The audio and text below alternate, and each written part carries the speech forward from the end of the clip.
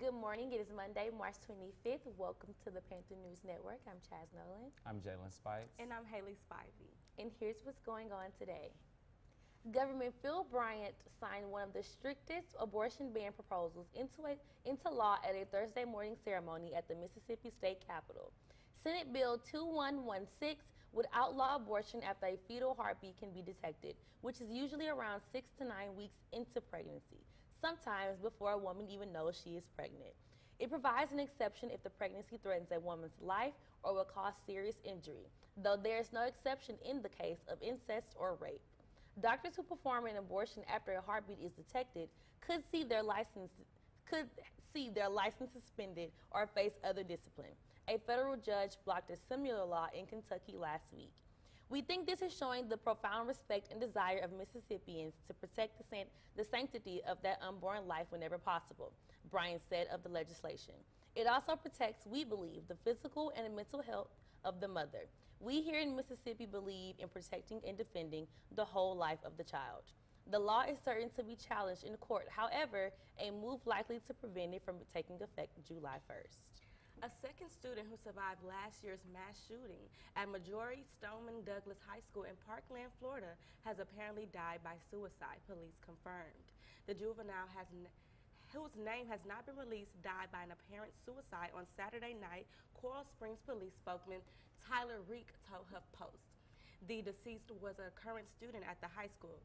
Detectives and the county medical examiner's office are continuing to investigate the matter, Reek said. The student's death comes after the family of another survival, survivor of the shooting, 19-year-old Sydney Aiello, confirmed Friday that she died by suicide after struggling with post-traumatic stress disorder and survival's guilt. The February 2018 shooting by a former student killed 17. Aiello had been close with a friend, Meadow Pollack, at Stoneman Douglas Sr., who was fatally shot during the last year's massacre. David Hogg, who was a Parkland shooting survivor, shared his grief on Twitter Sunday. How many more children have to be taken from us as a result of suicide for the government and school district to do anything? The 18-year-old tweeted. Broward County Public Schools did not immediately respond to the request for co comment though the details surrounding the second student's death remain unclear. Dan Reidenberg told HuffPost that PTSD and survivor's guilt can be a factor in such situations. Teens facing graduations, proms, other major life events, knowing that their friends will not be there due to the mass shooting, can be really re-traumatized by life events. Reidenberg said it's important for adults, teachers, and peers to understand that youth suicide warning signs, which include changes in academic performance and statements of feeling like they don't deserve to be alive. Graffiti left during an alleged arson on the Southern California mosque early Sunday morning mentioned an attack in New Zealand that killed 50 Muslim worshippers earlier this month, authorities said. In an interview, Escondido Police Department Lieutenant Chris Lick wouldn't say what the graffiti said, though he added that local and federal authorities were investigating the incident as a hate crime. No suspects had been identified and one was injured in the fire that broke out around 3 a.m. local time at the Darul Arqam Mosque in Escondido, north of San Diego, Lick said.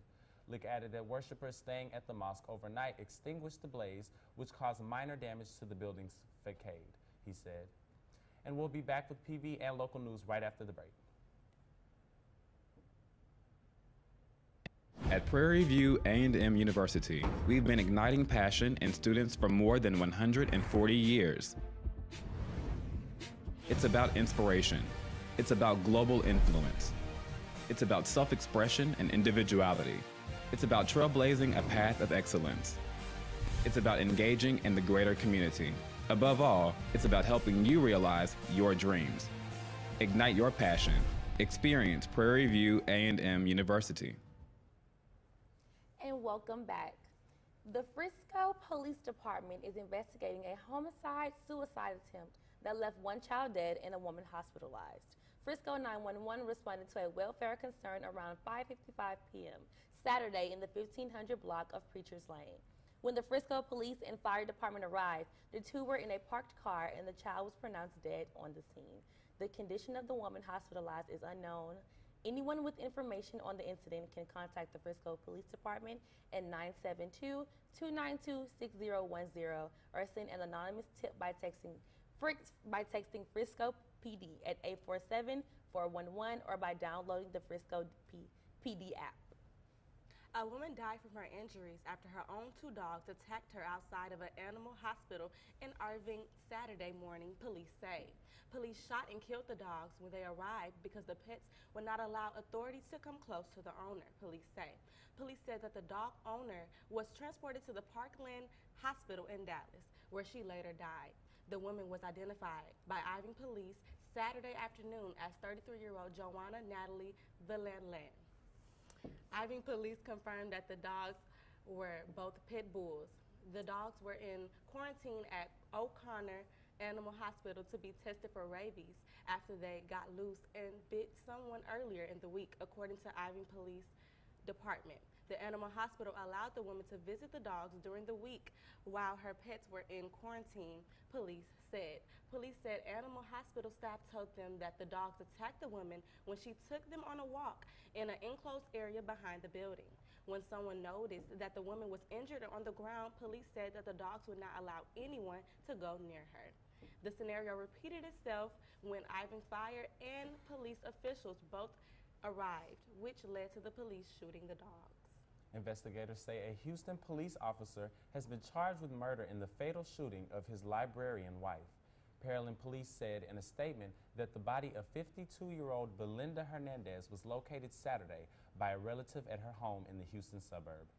Her husband, 56-year-old Sergeant Hilario Hernandez, was arrested later that day, some 230 miles away in Kingsville, Texas. Police say the victim was a librarian at Shady Crest Elementary School. Pearland Police Officer Jason Wells said Sunday that Hernandez is being returned to Brazoria County from Kleberg County, where he was arrested. Wells was unable to provide information on bond or an attorney representing Hernandez. Kleberg County Sheriff's officials didn't immediately return messages Sunday. Houston Police also didn't immediately return a message for comment. And the Pearland Police Department said that the Houston Police Department is cooperating with the ongoing investigation. Pearland ISD released a statement on the death of its Shady Crest Elementary librarian. Pearland ISD is deeply saddened to learn of the death of one of our employees, Shady Crest Elementary librarian Belinda Hernandez. Mrs. Hernandez was a beloved, longtime employee who worked for Pearland ISD for 15 years. Interested in becoming a PAL for the 2019 through 2020 school year? Find out more about the organization at the general meeting today at 6:30 in JJ Auditorium. And we'll be back after this commercial break.